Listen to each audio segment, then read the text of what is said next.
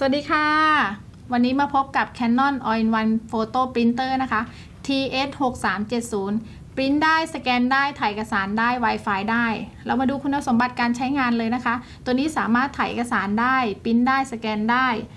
Wi-Fi สามารถเซตผ่านจากหน้าจอ ด้านหน้าเครื่องได้เลย เป็น Wi-Fi Direct หรือผ่านเราเตอร์ก็ได้นะคะ สามารถใส่ password เราเตอร์ผ่านหน้าจอได้เลย Copy สามารถถ่ายเอกสารย่อขยายปรับเข้มจาง เลือกจำนวนสำเนาได้ผ่านหน้าจอ LCD ได้เลยนะคะ รุ่นนี้จะเป็น two way paper feeding ใส่กระดาษด้านบนและด้านล่าง ด้านล่างใส่กระดาษ A4 ธรรมดา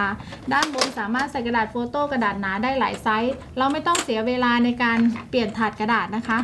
และก็สามารถปิ้ขอบได้ทุกไซส์4คูณ6 5คูณ7 A4 ไร้ขอบได้เลย คุณสมบัติที่เพิ่มพิเศษขึ้นมาคือ สามารถปริ้น2 หน้าอัตโนมัติ ประหยัดกระดาษและประหยัดเวลาด้วยนะคะ เรามาดูแอปพลิเคชันนะคะ ตัวนี้สามารถปริ้นผ่านสมาร์ทโฟน iPhone iPad Android ได้เลย หรือคอมพิวเตอร์ได้ ถ้าเป็นสมาร์ทโฟน สามารถโหลดแอปพลิเคชัน Canon มา แอปพลิเคชัน Canon สามารถปริ้นได้ สแกนได้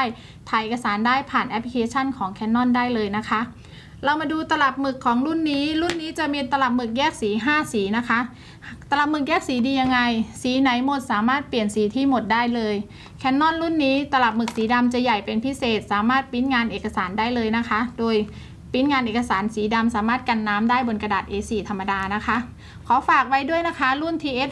6370เป็น All-in-One Photo Printer ของ Canon ขอบคุณค่ะ